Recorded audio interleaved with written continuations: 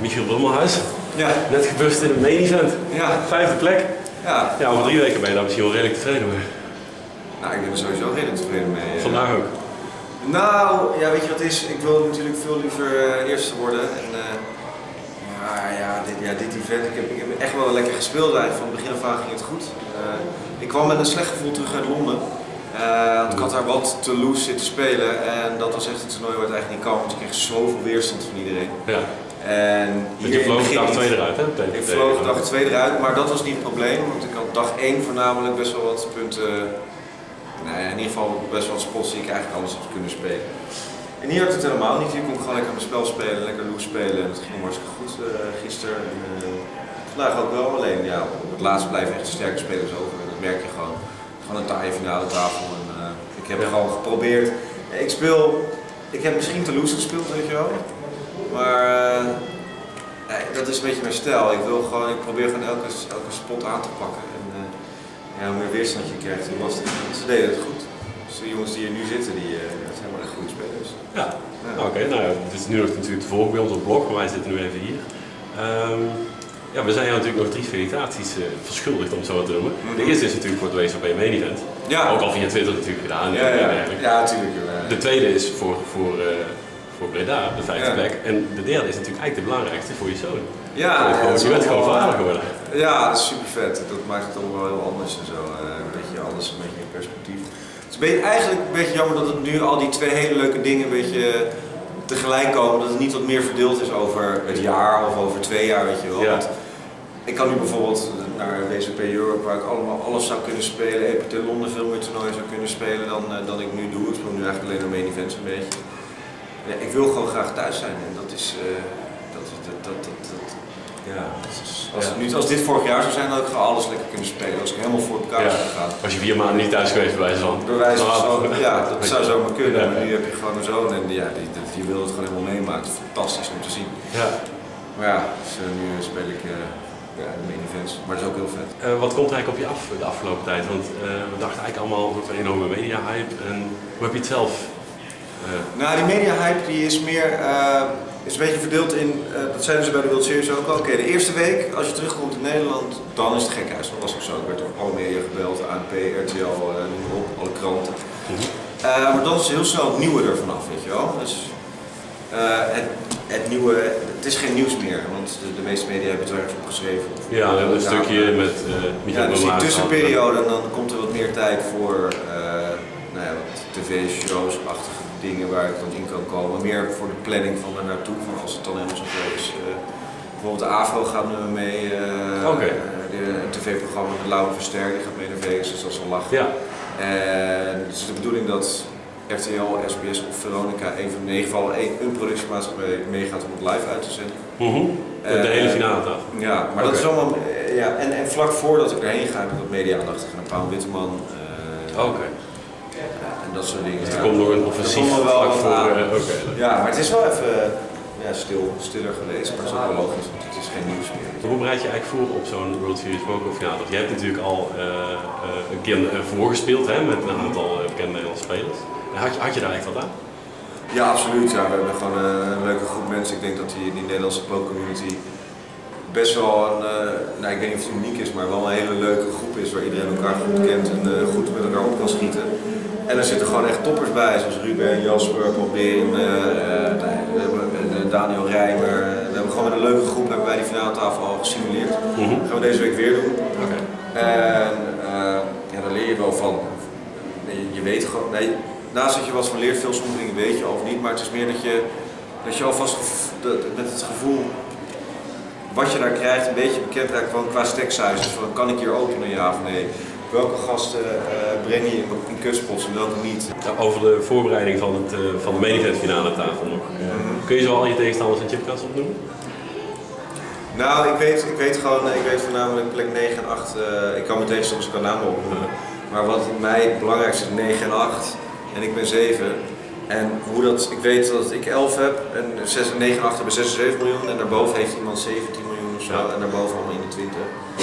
Maar dat zijn de plekken waarmee je eigenlijk verwacht eh, ja, de meest kans te hebben om hand tegen te spelen, denk ik dan. Nou, hand tegen spelen, ja. Je kan tegen iedereen in de hand komen. Ik weet niet. Ja, kijk, kijk die, gasten, die, die gasten met 6, 7 miljoen, die hebben gewoon een push volt stack. Ja. Dus als ik open zouden ze erin kunnen gooien, that's it. Maar er zijn gewoon gasten die mij licht kunnen driebedden omdat ik 28 bb heb. En eh, die gaan we gaan aanpakken. En daar moet je voor oppassen. Dat is wel... eh, ja, daar moet je gewoon rekening mee houden.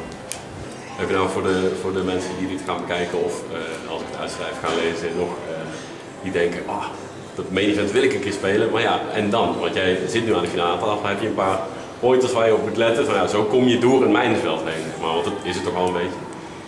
Ehm, besef, zomaar zeggen, de munitie zijn je chips en niet je kaarten. En dat is misschien, klinkt een beetje gek, maar mensen zitten maar, oh jezus, ik heb een uur geen hand gehad, weet je wel. Ja, ik wil mensen niet beter maken dan dat ze zijn, zou zeggen, maar besef wel dat, ik zie heel veel mensen hier, Jezus, alweer niks, en dan maar vol, weet je wel. Besef dat je, dat er, dat als je punten wil winnen, mensen ook moeten twijfelen aan wat je hebt of zo, weet je wel. En als ik mensen zie zuchten van weer geen hand en ze openen een keer, ja, ik, ik voel netjes met als zij al ingaan, weet je wel. Dus die gaan nooit actie krijgen. Dus besef dat je, dat je anders moet spelen dan de rest en niet het, het, het oude ABC en tijdspelen, dat is voorbij. Zeker in mijn velden, zeker in mijn velden. Hier kan het nog, ligt er een beetje, maar als het niveau hoger wordt, moet je, moet je vraagtekens boven je hoofd hebben staan. Ja, dat ze niet weten wat ze eigenlijk Ja. met je aan. Hier kan je met heel tijdspel en in het Holland Casino kan je nog wel een, eh, een end komen. Is dit een voorbeeld van het anders spelen, eh, die 6-7 of zoethand tegen Annette Oomstad, die natuurlijk Dat is een voorbeeld bij de ervan. ESPN dat je op de button zit en zij opent de kut of jij drie bed. Ja, ja, dat zijn voorbeelden ervan, maar dat... eh, Die hand pakt er ook heel goed uit, want die, Pakt maakt, dat die heel tilt de straat en zij regelt de toeper. Natuurlijk, het is een hele maar dat- ja, je moet gewoon... Dat is een spot die je zelf creëert in feite natuurlijk. Doordat je je munt aan het werk zet. Klopt, ja, het grappige is, in dat soort spots ga je zelf nooit heel veel verliezen. Omdat hun, hun veel eh, duidelijker dan jouw eh, dingen. Dus ja, ik weet niet. Je zit in positie. Ik zou zelf eerlijk gezegd nooit 10 achter openen en dan een 3 uit positie komen. Dat, dat denk ik dat wat zij daar doet, dat het niet heel eh, sterk is of zo. Want je komt altijd in de problemen. Ja, je bent dus al eh, ja, een beetje toernooi aan het spelen, ook al de laatste tijd. Is dat gewoon ook voor je sponsor 888, eh, dat die zeggen van Michiel, eh Ja, ga lekker wat spelen? Ja, ik kan nu eh, helaas in het kom ik geen badge op van, van ze, dat mocht niet.